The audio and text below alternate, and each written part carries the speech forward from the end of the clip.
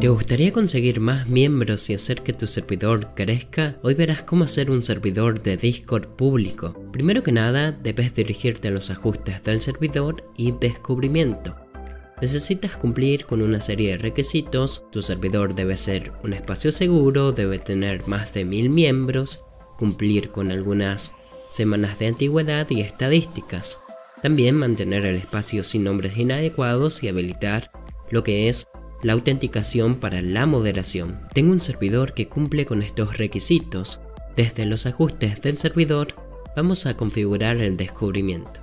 Establecemos una descripción, habla un poco sobre qué trata tu servidor, explica brevemente, luego presiona sobre el botón que dice siguiente y selecciona la categoría a la que corresponda tu servidor, así como subcategorías a las que podría pertenecer.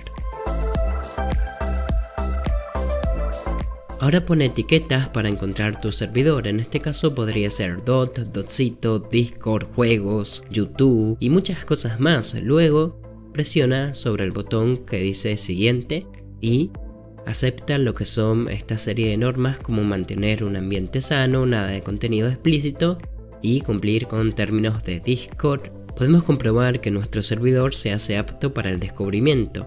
Esto quiere decir que vamos a tener nuevas opciones a configurar. Podemos subir una portada, establecer información de emoticones y muchas cosas que son interesantes. También si realizamos una búsqueda, nuestro servidor tendría que ser visible. Eso sí, no siempre será el caso. Si deseas mejorar aún más, no te pierdas de este video.